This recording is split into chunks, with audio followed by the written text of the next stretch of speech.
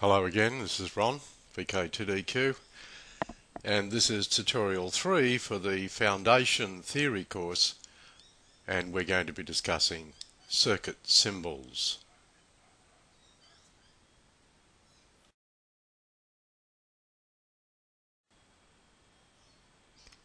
In radio and electronics, we could draw things the way they physically look. And what I've done here on this slide is draw a battery. I'm just going to get rid of something on the screen. I've drawn a battery, a switch, and a light bulb or a lamp. And I've made a circuit by making a connection from the negative terminal of the battery to the switch, and then from the switch to the light bulb. The light bulb has two connections and then I've taken a positive lead back to the positive end of the battery. And when we operate this switch, it's an on-off switch, the lamp will operate or go out depending on which way it's thrown at the moment. If we were to draw uh, electronic diagrams using pictures and photographs like that, our, it would take a long time, it would be hard to read, and it would be very, very complicated. So for that reason, we, we don't draw pictorial diagrams like this, we draw schematic diagrams. Just give me a moment and I'll show you the schematic diagram of what we have on the screen at the moment, and then we're going to go through and discuss um, the circuit symbols that you need to know for the foundation theory.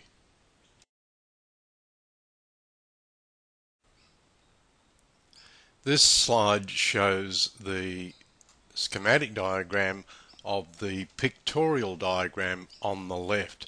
And you can and you see how much neater and tidier it is to, to draw using uh, symbols and schematic symbols instead of real pictures. This is a symbol for a battery. You would not expect the battery, the word battery to appear there or the word switch to appear here or the word lamp you would only just see this circuit without any labelling. We might have resistors with their resistance written on them and some other components. The battery voltage could be written here.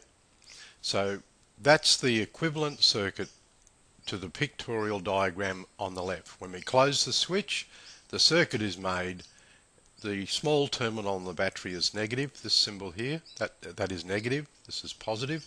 So electrons will flow through the switch, through the lamp, lighting up the lamp, and then back to the positive terminal of the battery.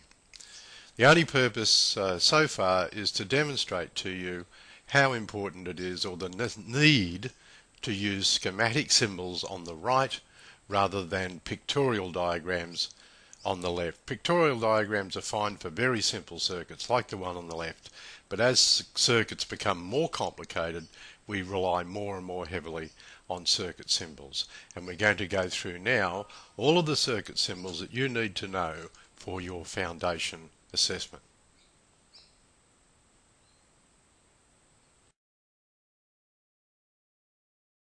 There are altogether about 10 circuit symbols that you need to be able to identify what they are. Uh, in your assessment, uh, in your practical assessment, I recall that you only need to get five of the symbols correct, two of which must be antenna and earth. So we'll get to that shortly. So out of all of these, you, you well, if it was me, I'd know them all. Okay, the first two symbols we need to discuss is the electric cell, the single cell. A single cell battery like a AAA cell is not a battery, it is a cell. It is a single cell. There is only one set of electrolyte and, and one set of plates in a single cell and that is a symbol for a single cell with or without the positive and negative symbols. The smaller terminal on the symbol is the negative symbol. The longer terminal is the positive symbol. a terminal I should say. And a battery is a group of cells and so the symbol for a battery is this one. And you can see here in the picture a 9 volt transistor battery. If we take it out and break it open, we can see there are uh, six. You can't see the other six, they're around the other side, but there are six individual 1.5 volt cells there. And 6 times 1.5 is giving us 9 volts. So that's a symbol for a battery. This is the symbol for a cell. By the way, the word battery is not a, an English word. Uh, it's not a technical word. It's an English word. A battery means a, a group of things or a collection of things. A battery of hens, a battery of cannon, uh, a battery of cells. And we just shorten that up and just say battery. Let's move on.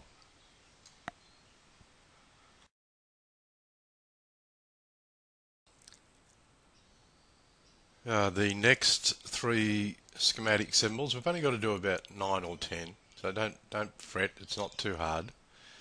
Is a fuse, and here we have a picture of a typical fuse used in an amateur radio transceiver or in an appliance around your home. A fuse is a protection device for excessive current. When you put a fuse in a circuit, the current must flow through the fuse wire and if the current becomes too high, the fuse wire gets hot and melts and opens the circuit. One of the effects of electric current flowing through a conductor is heat. And so a fuse is a melting piece of wire that will open the circuit and, and stop the current if there was some fault or something went wrong. So a fuse is for protection. A lamp it, in this case, it's an old incandescent lamp, the old-fashioned type lamp, but that could just as easily be a, uh, a small indicator lamp on the front of a radio. Doesn't have to be a light, it could be an on-off indicator, and it could be coloured red or green or whatever. Symbol for a lamp. Resistor, fairly straightforward symbol. Sometimes a resistor is drawn as a rectangle, not the jiglet square, uh, zigzag lines. It's just a rectangle. That's also a symbol for resistor. This is the one you're most likely to come across, and this is what a resistor looks like. The coloured bands tell us what resistance it is in ohms, but we don't have to do that. The physical size of a resistor doesn't tell you anything about its resistance.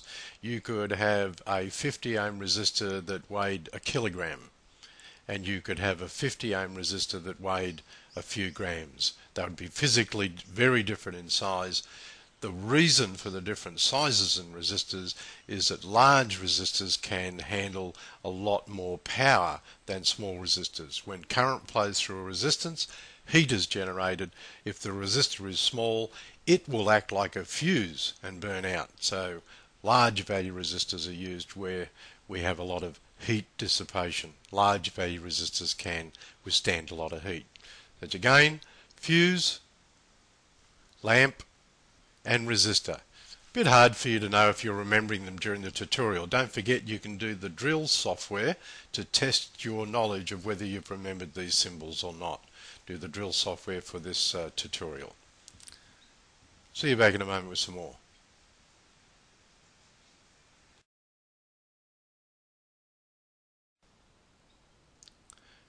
Rightio, now we have switch. That was the switch we saw in the schematic diagram that I showed you earlier, turning a, a lamp on and off. We use an on-off switch. When the switch is closed, these two contacts close. When the switch is open, these two contacts open. So that's a simple on-off switch. Need to remember the circuit symbol for that. Antenna. There is only one symbol for all antennas.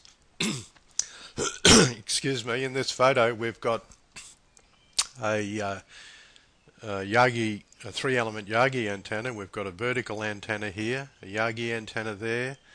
Uh, that looks like a TV antenna to me. All of the, the symbol for all of those antennas is this antenna symbol. And ground,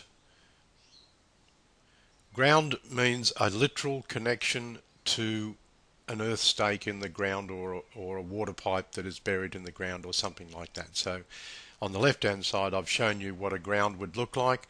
This could be the mast of a, an amateur radio station and the amateur has driven in a copper stake and connected an earth wire to it uh, for a number of reasons, safety reasons and better radiation reasons from his antenna. So that's switch, antenna and ground. By the way, you must know antenna and ground. These are the two compulsory symbols uh, you need to know.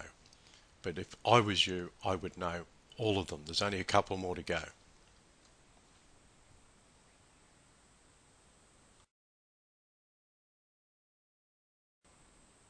And the very last two symbols you need to commit to memory is a microphone. Microphone converts sound waves into electrical energy and a speaker.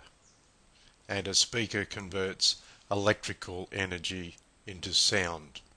Strangely enough, this is not part of your assessment, just as a matter of interest, most, most, not all, but most microphones and speakers are reversible. So you can actually get a speaker to work as a microphone and you can actually get a microphone to work as a speaker. Won't sound very nice, sound pretty distorted, but you will be understood and it's something worth remembering. If you're stuck in the middle of nowhere without a microphone, you could pull a speaker out of something and hook it up and get away with an emergency call. Right, that's it for circuit symbols. Uh, thanks for your attention. Not too hard. Do the drills on it. Make sure you've the drills will tell you whether you're you're understanding these tutorials or not. I'll see you back in the next tutorial. Thanks for your attention. Cheers for now. This is Ron VK2DQ.